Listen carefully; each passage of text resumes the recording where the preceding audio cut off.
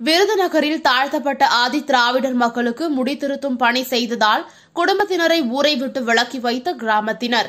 நடவடிக்கை எடுக்க கோரி திருச்சியில் ஆர்ப்பாட்டம் நடைபெற்றது.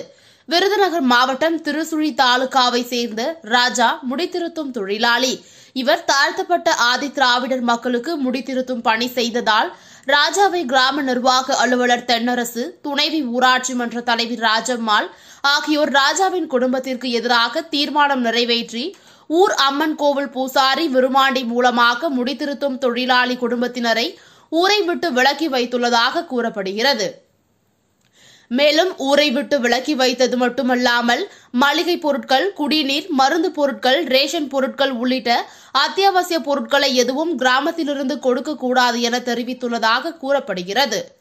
இதனை கண்டித்து திருச்சி மாவட்ட ஆட்சியர் அலுவலகம் முன்பு தமிழ்நாடு மருத்துவர் சமூக நல சங்கத்தின் மாவட்ட செயலாளர் தர்மலிங்கம் தலைமையில் நூற்றுக்கும் மேற்பட்டோர் ஆர்ப்பாட்டத்தில் ஈடுபட்டு ஊரை விட்டு விலக்கி வைத்த ராஜாவை உடனடியாக ஊருக்குள் அனுமதிக்க வேண்டும் என வலியுறுத்தி கண்டன முழக்கமிட்டு ஆர்ப்பாட்டத்தில் ஈடுபட்டனர்.